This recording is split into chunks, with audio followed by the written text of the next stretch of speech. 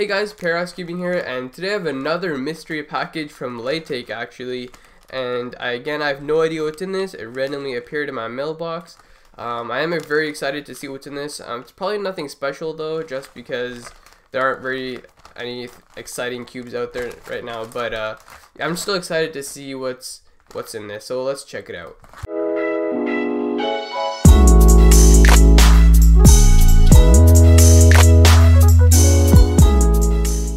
So yeah, I wasn't really expecting any cubes at all in the mail. Looks like a very large 3x3 there. Let's check this out. I have a pretty good idea of what these are. I don't really know a lot about them, but all I know is that they're both Yushin cubes. This is a big Yushin 3x3 and this is a keychain Yushin 3x3. So apparently this one is 8.85 centimeters. Here it is very large. It looks cool. It's a transparent cube with nice looking, probably tiled stickers. Yep, let's check it out. So it's probably my largest 3x3. I did have a large 3x3 before this, but this is my new largest 3x3. Okay, so first turns. That was, that is good turning actually. Not as bad as I thought. I thought it was gonna have like that dollar store cube turning. Well, what actually, let's take a look at this. Actually, let's just compare it to a regular 3x3 first. So this is a Weilong GTS. As you can tell, it's quite, quite large. So let's just take a look at the internals. Yeah, it looks like an actual speed cube design. That's why it turns fairly well.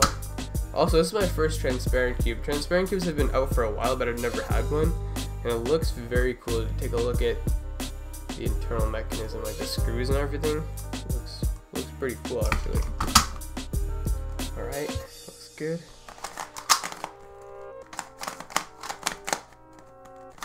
Well, this is very fun to turn with your index finger. And I think I just messed up that pair, yep. And my look ahead is horrible right now.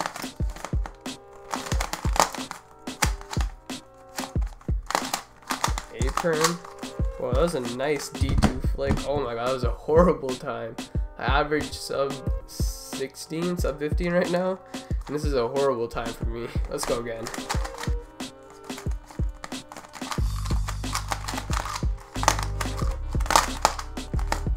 Seriously, that's actually pretty consistent. So let's check out this keychain cube next. That is a huge difference compared to that cube. This also has some pretty decent turning. And this one could actually reverse corner cut a lot, like half a cubie.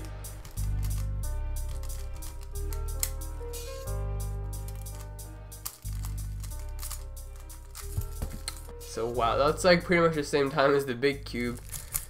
So anyways guys, that was it for this short little unboxing. I hope you guys enjoyed. Um, I had no idea what was in this package, but it was a nice, pleasant surprise. So, anyways, thanks for watching, and I'll see you guys in the next video.